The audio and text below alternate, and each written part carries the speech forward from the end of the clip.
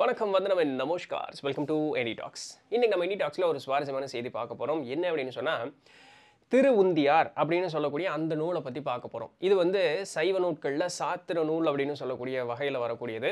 இறையினுடைய தன்மை என்ன?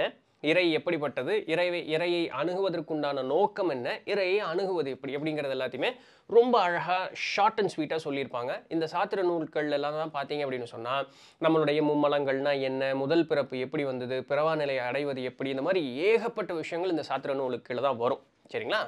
சரி சாத்திரம் அப்படிங்கிறதுக்கு நீங்கள் வழக்கமாக பழக்கப்பட்ட ஒரு சொல் சாஸ்திரம்.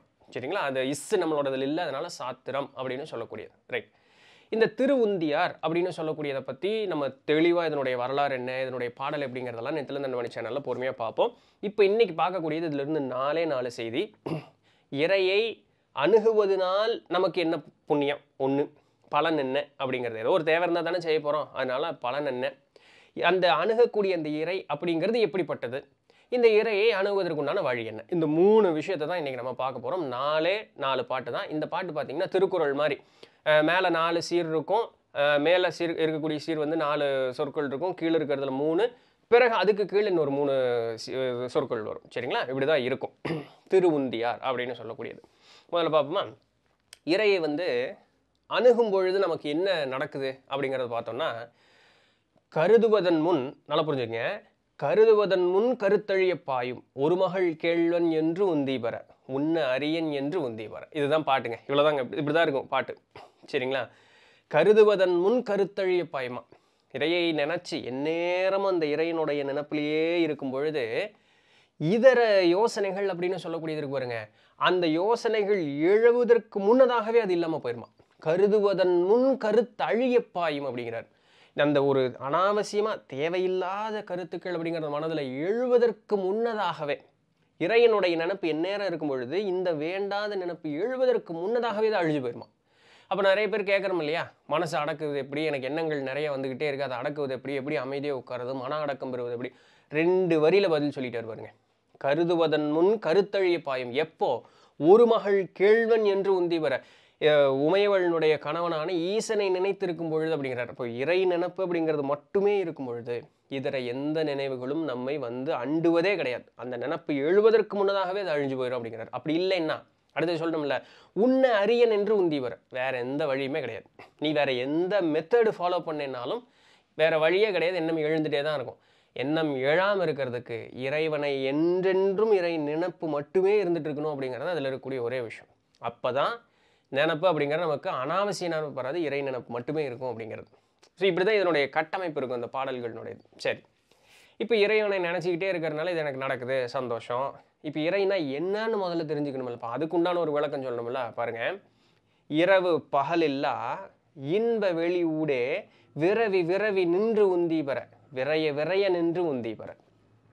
இரவு பகல் அப்படின்னு சொல்லக்கூடிய இந்த தன்மைகள் இருக்கு பார்த்தீங்களா மாறுபட்ட தன்மைகள். இந்த தன்மைகளே இல்லாத ஒரே நிலைப்பாடோடு இருக்கக்கூடிய அந்த ஒரு நிலை இருக்கு பாருங்க. இரவு பகல் இல்லா இன்ப வெளியோட அந்த மாறுபாடு இல்லாத தன்மை எதெல்லாம் ரெட்ட ரெட்ட ரெட்டரே இருக்கு? இன்னைக்கு நாளைக்கு சுகம் துக்கம் வந்தது போனது இரவு பகல் இந்த மாதிரி எல்லாம் ரெவெண்டாக ரெவெண்டாக இருக்கு பார்த்தீங்களா இந்த இரட்டை தன்மை எதுவும் இல்லாமல் ஒரே நிலைப்பாடோட அமைதியான சுரூபமோட அதுவும் இன்பமாக இருக்கக்கூடிய அந்த வெளியோட எப்படி பாயிரலாம் விரவி விரவி நின்று உந்தி வர. சீக்கிரம் சீக்கிரம் போய் அது கூட சேர்ந்துரு அப்படிங்கிறார். அப்படி சீக்கிரம் சீக்கிரம் போய் சேர்ந்துரு அப்படிங்கும் பொழுது விரைய விரைய நின்று சீக்கிரம் போ சீக்கிரம் போ அது கூட சேர்ந்து நின்றுக்கோ எதுவும் இப்படி போ சீக்கிரம் சீக்கிரம் போயிரு. அந்த இடம் எப்படி இருக்கு? மாறுபாடுக்குள்ளாத ஒரு இடமா இருக்கு. ஒரே நிலைப்பாடோடு இருக்கக்கூடியதாக இருக்கு. என்றென்றும் இன்ப வழியாக இருக்கக்கூடியதாக இருக்கு. இப்படி தான் இருக்கான். அந்த இறை தன்மை அப்படின்னு சொல்லக்கூடியதனுடைய அந்த ஒரு நிலை அப்படின்னு சொல்லக்கூடியது. அடுத்தது பாருங்க அப்படிப்பட்ட இந்த இறை தன்மையை விளக்க முடியுமா அப்படின்னு ஒரு கேள்வி கேட்டோம்னு வச்சுங்களேன். இப்படி நம்மளா கேள்வி கேட்கறதுக்கு முன்னாடியே பதில் கிடைச்சிக்கிட்டே இருக்கு பாருங்க. பாட்டு அப்படிதாங்க. இதுதான் ஞானி எழுதின ஒரு பாட்டு. நூலினுடைய ஒரு அழகு அப்படிதான் கட்டமைப்பு. இப்போ அப்படிப்பட்ட அந்த இறையை இன்னும் விளக்கி சொல்ல முடியுமா அப்படின்னு கேட்டால் சொல்லும் பொருட்களும் சொல்லாதனவும் இறை அப்படிங்கிறது இந்த ரிமோட்டா இறைங்கிறது இந்த புத்தகமா? இறைங்கிறதுக்கு நான் ஒரு உருவம் வச்சுருக்கேனே அதுதான் இறையா? இறைங்கிறது நானா? இப்படின்னு எல்லாமே கேட்டிங்கன்னா ஆமாம் எதெல்லாம் தவாறு சுட்டு பொருளாக இருக்கிறதோ அதெல்லாம் இறையான்னா ஆமாம் அப்போ சூடா சுட்டு காட்ட முடியாத பொருட்கள் ஒன்று இருக்கே அதெல்லாம் அதுவும் இறை தான் சொல்ல சொல்லும் பொருட்களும் சுட்டி காட்டக்கூடிய தவறு இதுதான் இது இதுன்னு சொல்ல பொரு சொல்லும் பொருட்களும் தூசிலிருந்து துரும்பு வரைக்கும் கல்லிலிருந்து எல்லாமே இறை தான் அதனால தான் பெருமாள்னு சொல்கிற மலத்திலும் நான் இருக்கிறேன் அப்படிங்கிற எல்லாமே இறை தான் அப்போ நீங்கள் எதையுமே இது இது இல்லை அப்படின்னு ஒதுக்கவே முடியாது. சரிங்களா? சொல்லும் பொருட்களும் சொல்லாதனவும். சுட்டி காட்டக்கூடியதும் சுட்டி காட்ட முடியாததும் சொல்லாதனவும் ஆங்கு அல்லனா யானான் என்று உந்தி வர. இப்படி சொல்கிறோம் சொல்லாம விடுறோம். இதற்கெல்லாம் அப்பாற்பட்டு நமக்கே விஷயம் தெரியாமே ஒன்று இருக்குமே. இப்படி சொல்லுதற்கே அரியது அப்படின்னு ஒன்று இருக்குமே. அது அதுவும் இறைதான்.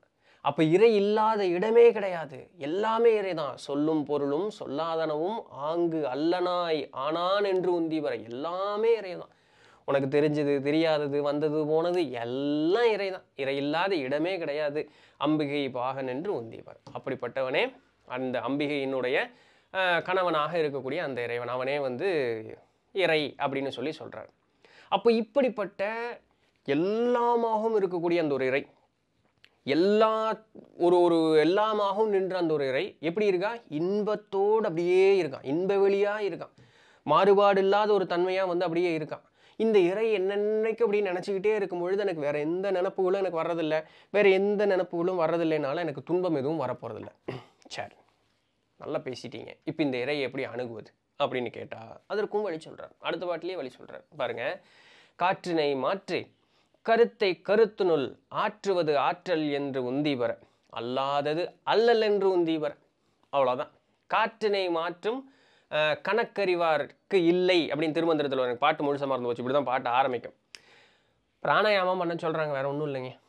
நம்மளுடைய மூச்சினுடைய ஓட்டம். பிராணாயாமம் என்ன பண்ணுறோம் லெஃப்ட் ரைட் ரைட் லெஃப்ட் இழுக்கிறோம் இல்லையா? பிராணாயாமம் நம்மளுடைய மூ- மூ- மூச்சு அடக்கி நிற்கக்கூடிய அந்த ஒரு நிலை அப்படின்னு சொல்லிட்டு அதை பயிற்சி பண்ணுனா இந்த இறைவன் கைக்குள்ளாவான் இந்த இறைவன் கிட்ட நம்ம போய் சேர்ந்துருவோம். அப்படி இல்லைன்னா போகவே முடியாது அப்படின்ட்டார் காற்றினை மாற்றி கருத்தை கருத்துனுள் இந்த காற்று அப்படியே நம்ம மது பண்ணிகிட்டே இருக்கோம். எண்ணங்கள் ஓடிட்டே இருக்குது அது அப்படியே ஓடுற எண்ணத்தை அப்படியே நிறுத்தி ஓடக்கூடிய எண்ணம் அந்த ஒடுக்கத்துக்குள்ளேயே மனதினால தான் அந்த மாற்றம் அப்படிங்கிறது ஏற்படுது. அதே மனதினுடைய வேகத்தை வச்சே அந்த எண்ணத்தை அமைதிப்படுத்தி நிறுத்திடுறோம். கருத்தை கருத்துனுள் சரிங்களா? காற்றினை மாற்றி கருத்தை கருத்துனுள் ஆற்றுவது ஆற்றல் என்று உந்தி வர அப்படி செஞ்சேனா தாயா உனக்கு புண்ணியா? நீ மேலெல்லாம் சொன்ன மத்தியா இறைவன் இறைவன் இறைவன். அவன் அணுகிறதுக்கு இதுதான் வழி. அப்படி இல்லைன்னா அல்லாதது அல்லல் என்று உந்தி வர முடிஞ்சது. வேற எந்த வழியும் உனக்கு கிடையாது. இதுதான் வழி. ஸோ இதை யார் ஒருவன் கெட்டியாக இருக்கு சிக்கனை பிடித்து கொள்கிறானோ அவன் வந்து என்னவான் பிறவாநிலை முக்தி பேர் அப்படிங்கிறதுக்கு போயிடுவான் ஸோ எல்லா இடத்துலையுமே அவர்கள் சொல்லக்கூடியது என்ன? மனம் ஒருநிலைப்பட்டு நிற்க வேண்டும். நிற்பதற்கு ஈர் அந்த வேற எங்கேயும் கவனம் போகக்கூடாதுண்ணா உன் கவனம் இருக்கணும்? இறை மேலே இருக்கணும். அந்த இறை எப்படிப்பட்டது? அனைத்திற்கும் அப்பாற்பட்டது. எதற்குள்ளும் கட்டுப்படாதது.